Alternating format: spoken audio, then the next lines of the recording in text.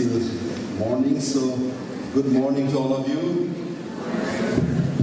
It's, uh, it's wonderful to be here in your presence.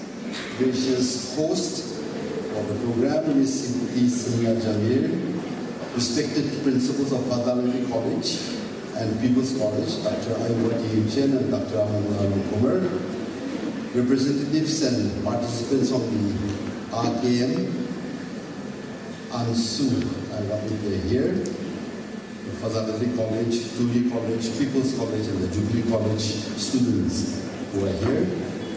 Fellow participants in the program, Mr. Balkup, Vice President of the EU of the Fazl College, Warman Simula, the GM of the College Students Confluence, Sungshi Sangla, President in UBC, and esteemed members of the Mokokchung District College Students Confluence under the leadership of the convener, Mr. Asenso, and my dear young friends. I am truly honored to be here to stand before you and, uh, you know, be felicitated. As an old, retired man, we don't get much chance to attend such programs, and I'm really grateful that I've been invited here. Initially, being on the 1st of April, I thought that it could be uh, April Fool's prank. But then coming here and seeing the wonderful arrangements that have been made, so creatively made, so colorfully done up, I am truly impressed that the Mokokchung district has such an organization known as the College Students Confluence of the District, and that it acts as an interface among the college students. And this interface, this interchange, and this interaction amongst you of sharing of concepts and ideas, I'm sure will go a long way in uplifting not only your education system, but the people of the district. I have especially been impressed by the fact that you have chosen the theme Meraki. Initially, I thought that Meraki was uh, an our word, Meraki. But then, Mr. Asansor, the convener, had uh, explained to me that it is a Greek word. And I had Googled the uh, word in the computer, which everybody does these days when you don't understand things. And I was surprised that it has linkage to Italian, Sanskrit, Hebrew, Japanese, and Chinese words, Meraki. And that is an extraordinary word to describe an approach to doing things with passion or with all the heart. Something done with one's soul, with creativity, effort, and a lot of love. I think that is a very, very important and essential need in society today, especially among the youth to grow. We should remember that this is God's gift to man because God created man that way. When God created the world, God said, and he observed that it was good. Every day of the week that he created something new, of life, of earth, of soil, the sea, the waters, he saw and said that it was good. It means that he felt. And that feeling is what is expressed in this word, Meraki. Unless you have feelings, whether you in your studies, or in the sports that you play, or in the various activities that you participate in, unless you do it with feelings, unless you have a care and concern for the small and the big things of whatever work and job that you are after, you are in, things don't work out. And I'm grateful that this conference for the current year have adopted this theme, Meraki, and I hope that the student community will grow up with this in mind. With that little on the theme of the confluence, I just thought that I would share with you a few thoughts and thinkings which are in my mind and which is going to affect you personally, the youth of Nagaland in the near future. And in very brief, although I didn't uh, talk long, I'll try to make it as brief as possible. I want to share a few things where you can apply your concepts of Meraki and see in what way you can improve the society that we live in today. I call them the imperatives, the must be attended to subjects in Nagaland today. The first is the idea of Nagaland. I am happy that the principal has explained there are, there are students from all over Nagaland. People from Mon, Tuensang, Longleng, you name it. Kiphire, Wokha. I've seen a boy from Kohima playing the guitar with his uh, jacket. There are people from all over Nagaland. But I'm sorry to say, state that the idea of Nagaland is getting fractured. And we have to be careful.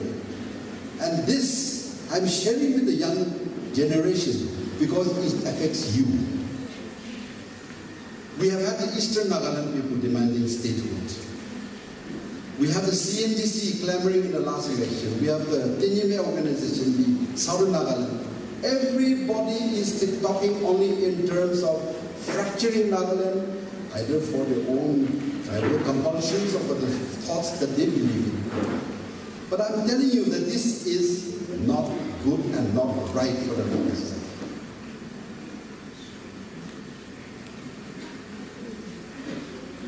If we don't have Nagaland, if Nagaland does not exist, we will have nowhere to go. We have nowhere that we can call a home excepting these hills. And when we think of it, we, the tribals, we are very less in number. Of course, the government of India was gracious enough to have given us a state in 1963, comprising only of 3,64,000. Today, we have become 20 lakhs, about 20 lakhs. And still, that 20 lakhs is very small compared to the 7.7 billion, 7,700 billion people of this earth. We, the Aos, we are hardly 1,94,622 in number. That is as per the 2011 census. There are tribes which are only 40 to 50,000 in number. And if we keep on fracturing and dividing and, you know, going our own way all the time without thought of how to stay together, where will we as a people survive? We should think sometimes in becoming bigger, in getting the Tirap, the Changlang, and other districts included in Nagaland in fact. The southern Nagaland already, people are talking of including them. We should think of terms of our Naga brothers who are in Myanmar. We should think in bigger terms of getting together. In, only in that way we can survive as a people. There are points which I'll tell later. But we are fractured. And it is time that we change attitude. We should develop Meraki. We should have more understanding amongst ourselves. We should have more love and affection among the tribes. Our fathers, my fathers, let us say, your grandfathers and your forefathers, they have been to all the places in eastern Nagaland as teachers and as preachers. And that's how the idea of Nagaland has grown. But that is being discarded today. And I sincerely appeal to the students that you have capacity in you when you talk of Meraki to hold Nagaland state together. And I hope that you will truly understand the meaning of what I am saying and that, and that you will build up on this theme on the idea of Nagaland, of Nagaland as a state. Then the second imperative that I want to talk about is imperatives of identity and competition. We are faced with the aspect of globalization, which in simple cultural terms of clothes, food, lifestyle, media, means of communication, movement and transport.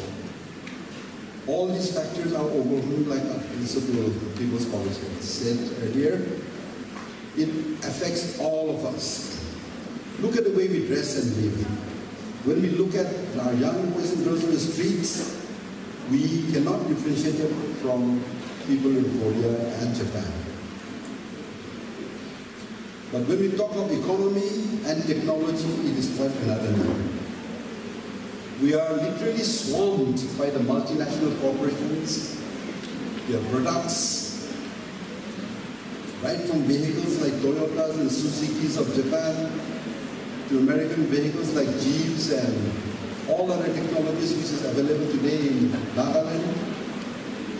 And we have the systems, communication systems like the mobile phones, I don't need to say, the broadband, the computers, the DTH has reached every nook and corner of our lives.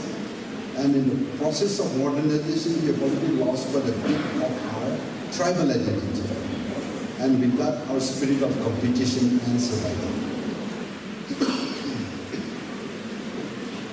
Identity is what God has given us. God has called himself Jehovah, I am who I am, and that's what we are. But when we lose sense of identity, we forget ourselves, and when we forget about ourselves, we have no sense of competition. And when we lose our sense of competition, we lose our sense of survival. Today is a, we are living in a flat world. Flat, not in the geographical terms of the round globe that nobody disputes. But we have the equality of opportunities, whether we live in New York or Tokyo or London or in Mokokchung.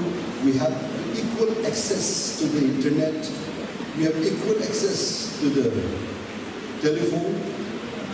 We have equal access to the television, to the vehicles, automobiles and therefore we have equal opportunities. And yet, if we lose our identity, if we lose the competitive spirit, we will fail to survive. And that is something which you, the young people, have to get into your minds. You have to compete. You are competing not just amongst yourselves, but as I've said, you are competing with the people in Japan, Tokyo, in London, Washington, New York. You have the same, they have the same opportunities as you have. But where are they and where are you? Where are you? Let us think seriously about this concept, this idea of the need for the, the, the competitive spirit and the survival instinct to grow the right for us. Remember, today particularly, the instinct of survival of the fittest rules the world even today. It's not among the, only the wild, in the jungle that uh, principle exists. And in this survival of the fittest, unless we, the students of Mokokchung, become the best, the fittest, you will not find it possible to survive in this world.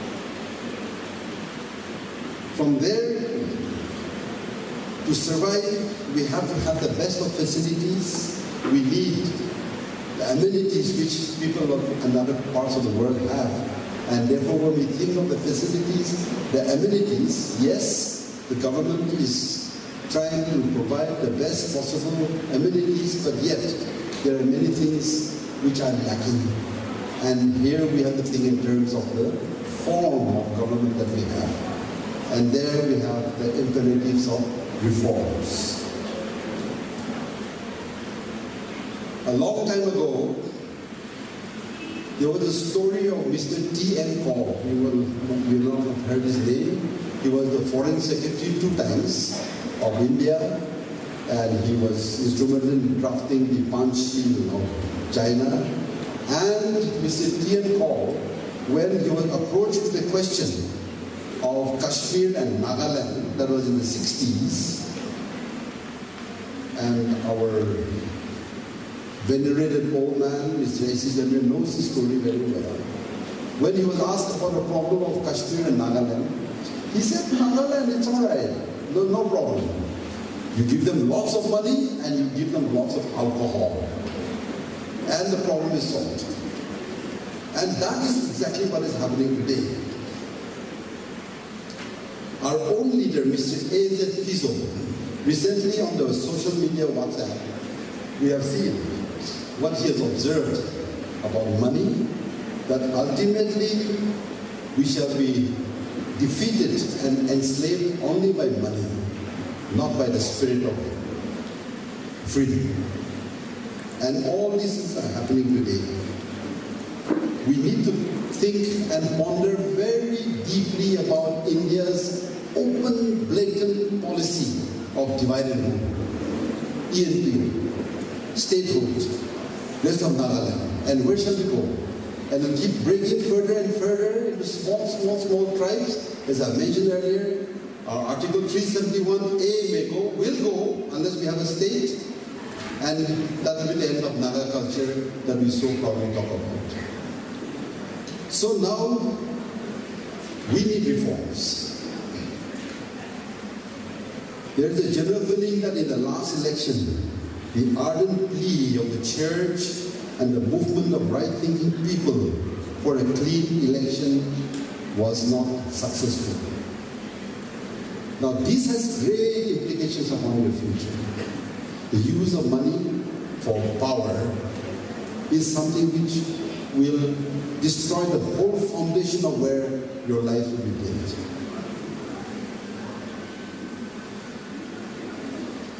On the other hand, we have elected with money people who have changed you know, parties overnight. Actually, I was also thinking, I was also in politics.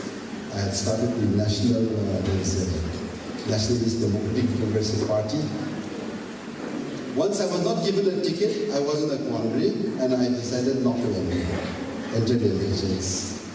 Some people have said that that, is a, that was a very wrong step.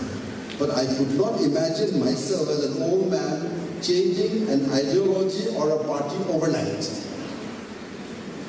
I could also think in terms of entering as an independent because if I have to enter politics, enter the assembly, it has to be with the aim to change Nagaland and what could I do if I was sitting there all alone. That was some of the imperatives which I felt and therefore I have decided not to enter elections. People are still questioning it, and I hope I'm right. But we have people who do not think and have accepted parties overnight. LJP, NCP, NPP, all those things, they have been elected, they have come to the assembly, and today they are talking of an opposition to this government which actually does not make sense in a democracy. In a democracy, there has to be dissent. There have to be the voices which should point out the wrongdoings of the government and you know move together. Those processes has to be a part of democracy. On the other hand, the people that we have elected they are of opposition this government. They cannot stay even one day in the opposition. They want to be part of the government to share the budget and money. So this is some conception and ideas which we need to think about and change urgently.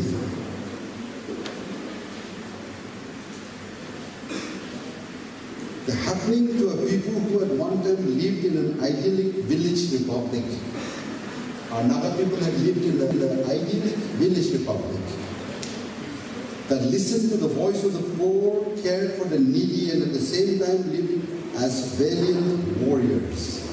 Men bound by rules, and each had freedom to be heard, and dissent was a right. Putu Menden existed to maintain order, but at the same time stood for the rights of the individual and the poorest of the society. Truth was honored, valor was respected, life was precious, and coexistence of society was at the core of living. Forceful deprivation of property and rights were unknown. Where has that Subhadeva disappeared to? This is a question which you, the young people, have to think seriously. You are at the college level. You are at the right age when you have to raise questions, when you have to ask, and when you have to realize what is good and right wrong for you. And I'm glad that you have got a team like Meraki. And I'm sure with this kind of beginning, I have been encouraged to pick up some of these subjects to share with you today. And I hope that we can ponder on it together. So coming to the issue of reforms. I am sure many of you have heard about the situation in Mizoram. There is the Young Mizo Association. And that organization and that association is fixed in every village in every town and city. And they ensure that there are no practices and no use of wealth in the election. Whatever issues are there, they elect the right government and the right people.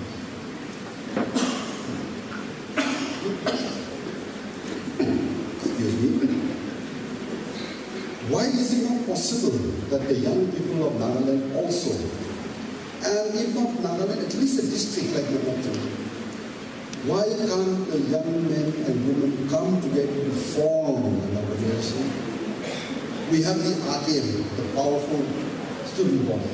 Everybody listens to you. The politicians are afraid of you. Why can you not form an association like the Young People Association that keeps the election clean? hold hands with the church.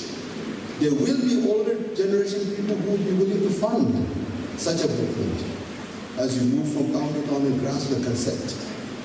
But this has to be done without a rational election system to elect the government of our choice, you and I, we are doomed. The Aos are doomed. The Naga people are doomed if we elect a government that is based only on money and power.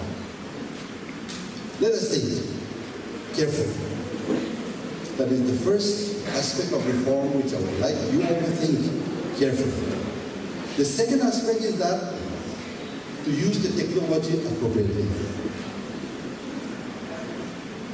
Today, we have at our disposal sufficient knowledge and technology to ensure the Aadhaar card, which you all have, linked with the EPIC election photo identity card, and for them to be merged together so that the voting machine can be opened by the biometrics of the voter concerned.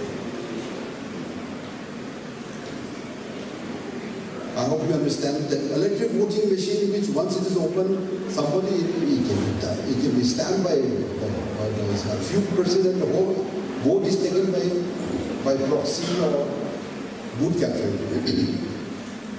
but if we can ensure the system by the use of technology for only the right person to come and by his biometrics, I mean the fingerprints and the iris, which is already recorded in the Aadhaar card, to open that machine and be able to vote, it will ensure that the greatest man and the smallest man are equated. Let us try. We can make an appeal to the government and this technology is possible to be brought into place currently. These are the reforms that we need. Let us apply our minds to move for such kind of reforms. And happily here, we are happy that the RTM Mungtang is here. I've mentioned about them, I've mentioned about the power and the force that lies in the youth today. And I'm sure that with the reforms led by the youth, for your own future, Nagaland will change, district will change, and your lives. The fourth imperative that I'm talking is the imperative of technology. The other day, I was just browsing through my telephone, and uh, is the, the thing, you know, Chat GPT, the artificial intelligence. So I was just chatting with it, and I asked, where is, uh, what about E.W. Clark? So he gave a wrong information saying that he, was, he came in uh, 18 something. So I said, no, no, if, if your information is wrong, Reverend Clark came to India in 1869, he came to Nagaland in 1872, he translated the Ao Bible, Ao dictionary, not the Angami dictionary.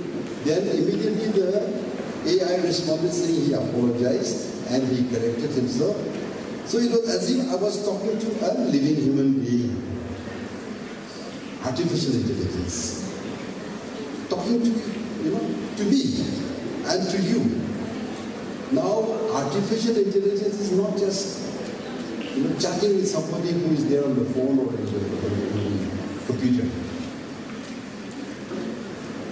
If you have been using the YouTube and you access certain programs more often than some other programs, then the information is collected from your mobile, harvested, and the algorithm made so that in the future only the programs or the programs which you like are given back to you on the telephone. Have you noticed that? That is part of the great algorithms of the artificial intelligence going on in the world around you, and we are simply being swallowed by that. There is a talk that the Chinese TikTok, I'm many of you have opened this chat uh, device, has been designed by the Chinese, specially directed with the algorithm to affect the decadent American society, to make the youth waste more time on the computer, on the mobile phone. And that's how the TikTok has come into being. That's one of the uh, research has brought it out and they're talking in terms of algorithms to control each other's society. India controlling China, controlling America, controlling Russia. That's how far artificial intelligence has gone. He is God's nature in man and his greatest gift to us. Love is what makes us understand the deep mysteries of the universe that God has created and what differentiates us from other creations. Love is also what makes Christianity different from other religions. If we talk of the Big Bang, when the universe began, we have God saying, let there be light. If we talk of the mysteries of the universe, the size and the speed at which we move and we have Einstein's theory of relativity, we are left in awesome wonder of the God who created time. If we talk of the speed of computers and matter and AI, we can only think of the creator who created the quanta of the radiation energy leading to the quantum computers. We are indeed left in awe of the soul. But you and I do.